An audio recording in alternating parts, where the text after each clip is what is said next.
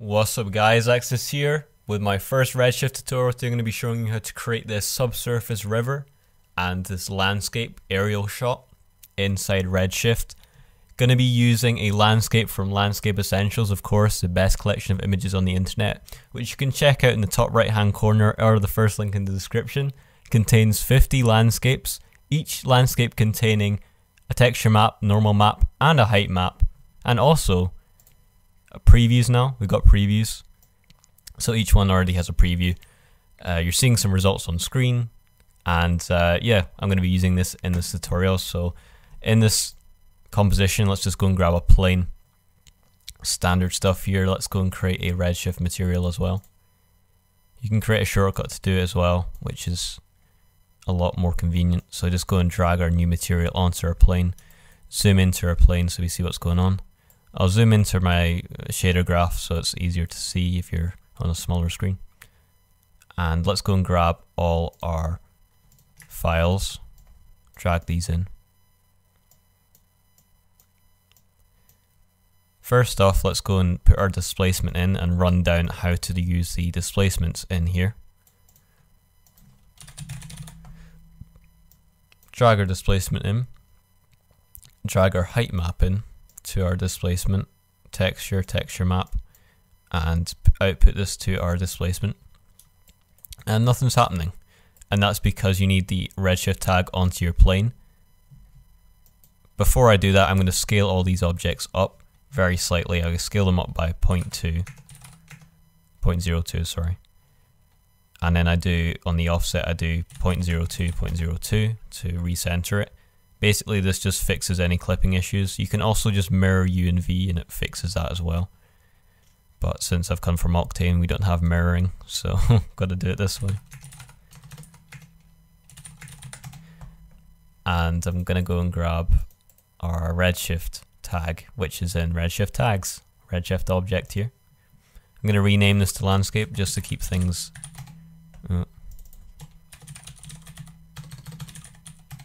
just to keep things organized.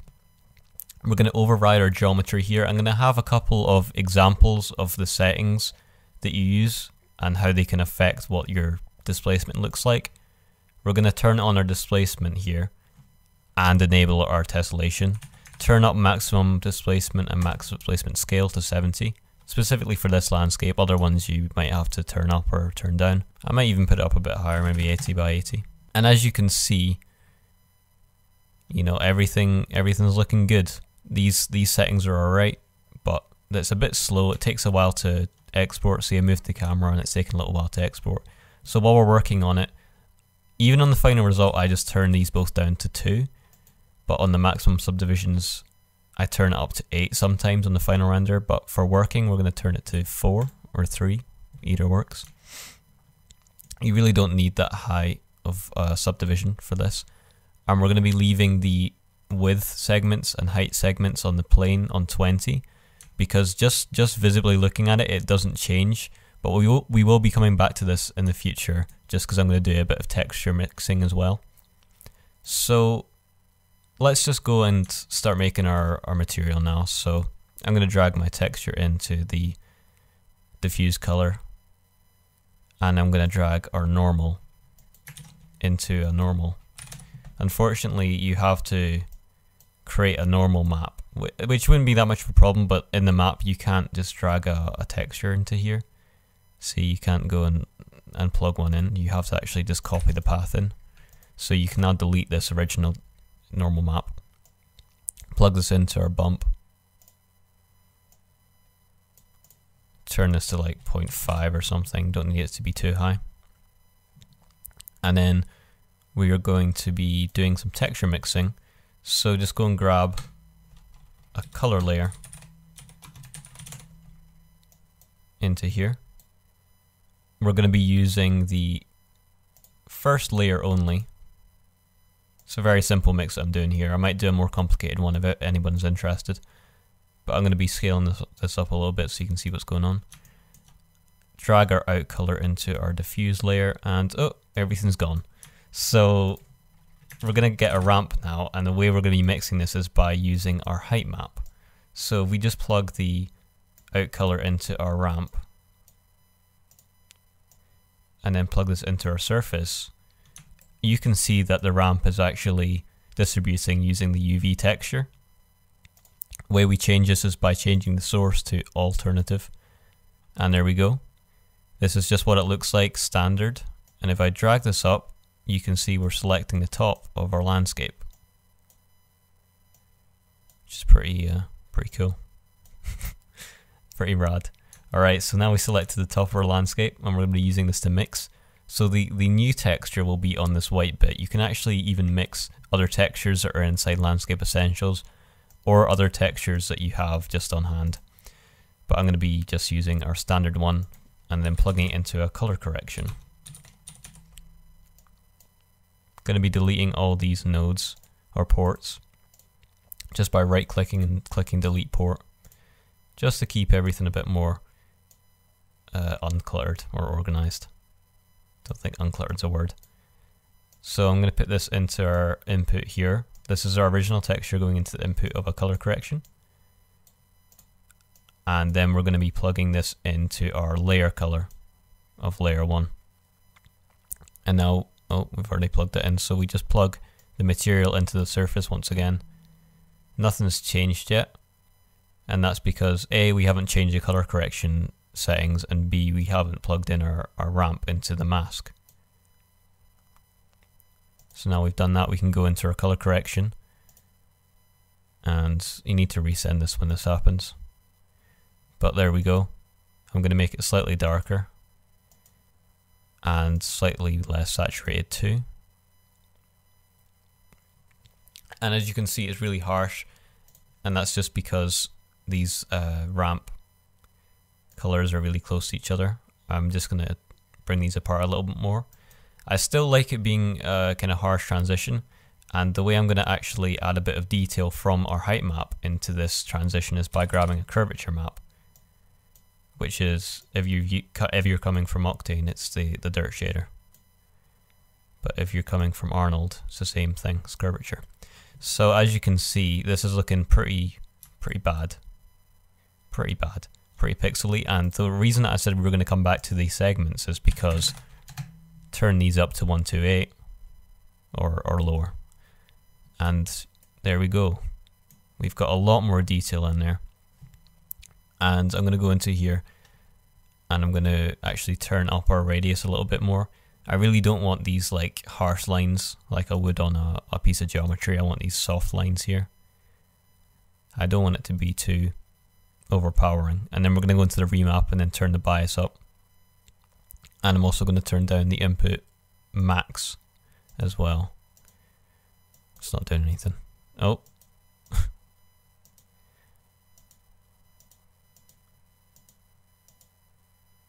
There we go. I want it to be really harsh because the mix the mix doesn't really work unless you have a really harsh contrast. So I'm going to drag this in to uh, another layer color we're going to be multiplying it. So just delete these once again. We're actually going to delete the layer color 1 as well, only leaving the base color and layer 1 mask.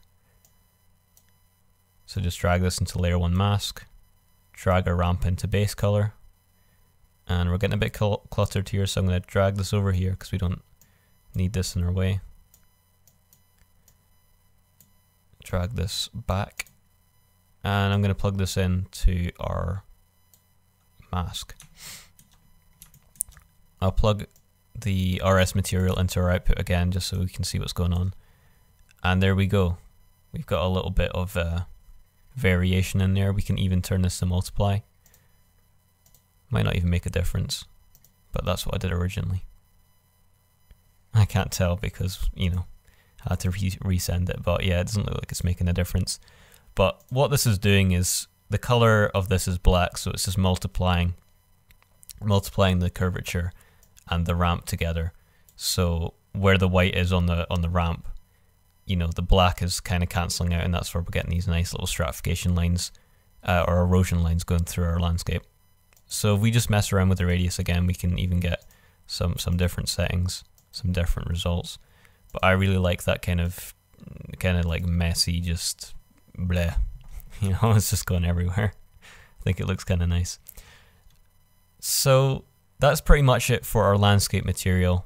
now we're going to be focusing on some lights and then our river. So I'm going to be bringing in our point light or area light.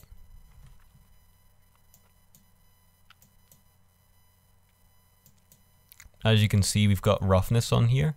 So if we go onto, or no, we've got reflection. So if we go into our material, just turn down the no, material, turn down the reflection to zero on the white.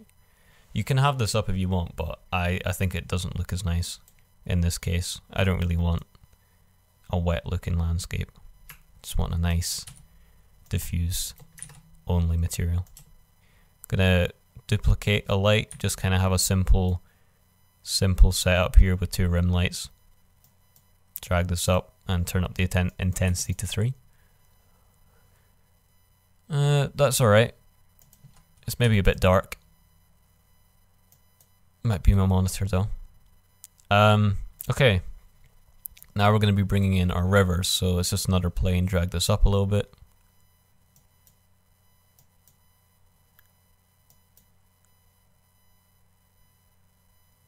Okay.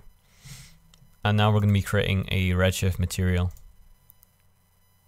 I didn't rename these materials, a bit unorganized, but we can just call this water. And we can see the light reflecting in our material. We're going to be changing the material to a glass, or no, water, sorry. And all you can see now is a dispersion because there's no roughness. Oh, please don't crash on me right? So all you can see is a reflection of the light and the dispersion. First, uh, first we need to get rid of the, dispersion because we don't need it. I'm going to be turning the roughness up to 1 as well. So now we have this kind of like milky looking fluid here. Don't really want that. So in the subsurface, we're going to be turning up the amount to 1. And now we've got some nice subsurface. It's really fast as well. I'm using bucket mode.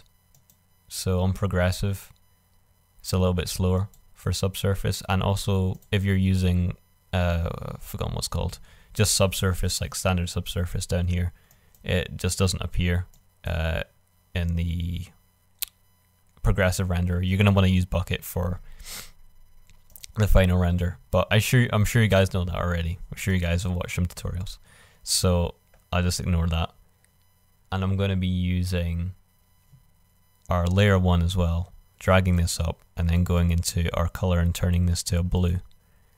And there we have this like kind of tropical, tropical blue color. I really like it. It's like a, a bluey green. And the way we control how much of this blue is seen is we can turn up the radius scale or turn down the radius scale. So there we have no radius. And if we zoom in, we can see it a little bit better, but that's super laggy. I'm going to turn down the uh, the maximum subdivisions. But you can see a tiny, tiny bit of subsurface in here. And I like to have the general radius on low and then the layer 1 radius higher. So maybe change this to 40 or something.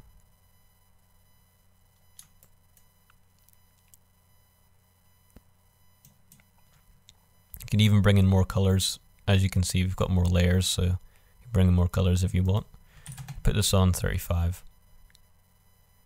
But yeah, that's looking good. And now we can bring in a camera.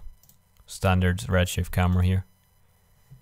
And I'm going to be just having this face down. So all we need is the Y position and then we need the Y rotation to be minus 90. So it's looking down.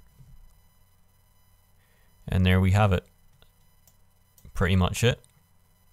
You can even add caustics as well to the to the uh, to the lights, which will make the the glow around the shoreline a lot bigger.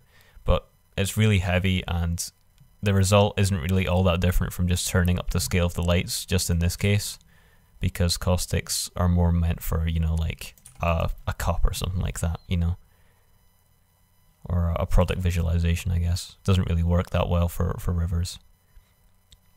But yeah, that is pretty much it. And if you want to, if you want to um, wrap this around, I forgot to mention, if you want to kind of make this tile, then what you're going to want to do is you're going to want to do mirror UV, go into our normal map, advanced, uh, where is it? Wrap UV is already selected there. go into our height and you guessed it, we're going to mirror UV again. And then we can either change the projection to cubic or we can just scale this down to like 50 oh. or 50. That kind of looks cool when it's when it's not uniformly scaled there actually, that's kind of cool. But, uh, oh I didn't change this 50, but there we go. It's mirrored so it will look a little weird. So you're probably going to change the, the position a little bit to, you know, like 50 by 50 or 25, 25.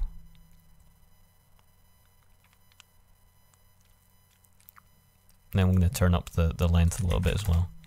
Anyway, I'm just kind of messing around with this now.